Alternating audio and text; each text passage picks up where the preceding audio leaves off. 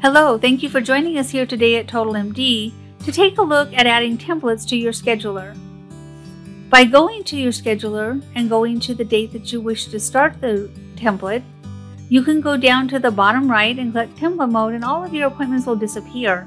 You can see that I have three templates set up here already for lunches for two of the doctors and an appointment, no appointments here for Dr. Arquette. Let's add a lunch period for Dr. Hosfeld. By double clicking in the appointment where you want it or clicking there and clicking add template, it'll bring you up to an add template screen. You can give it a name. You can give it a length of time. We're going to make this for an hour for the doctor. And we can give it a color.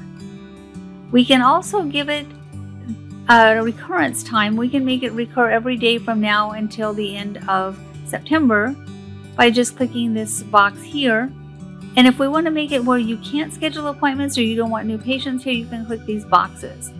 Once you save the changes, if you go forward in your calendar, you'll then see that in the calendar there.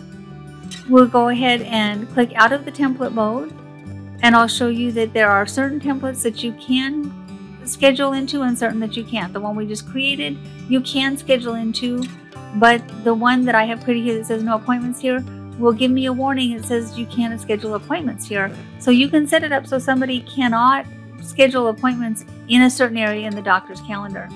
If you have questions regarding this functionality of TotalMD, please give us a call 800 613 7597. Option 2 is support, option 3 is training. We'd be happy to help you with this.